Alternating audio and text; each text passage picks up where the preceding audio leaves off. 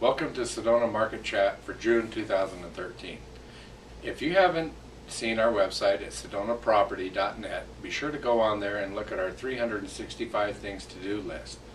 We're, we will be adding some more things to do this month, so be sure to check back and see what you want to come to Sedona and do. The real estate market in Sedona is really starting to move. So if you've been planning to move out here or come out and take a look at what's available, it's changing very quickly. Uh, We've had one property that we put on the market, priced very well, and moved in eight days. We have other property that we've had multiple offers on. Um, So it is starting to happen. I think the fact that the interest rate is starting to ease up, the interest rate is starting to go up since we last spoke 30 days ago, that's a good sign to maybe come out sooner rather than later. Uh, inventory is low, so if you have a house that you want to list or sell, please call us. We are always looking for good listings.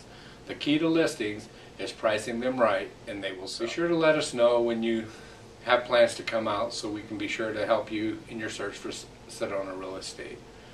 Um, We have a lot of seminars in the real estate industry during the summer months, so we want to be sure that we're available and ready to work. Four-person team is available to help you with any of your real estate needs. Be sure to check back next month for my new video for July.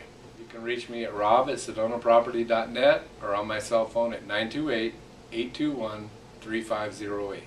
You can reach Pam at pam at sedonaproperty.net and her cell phone is 928-254-9532. See you next month.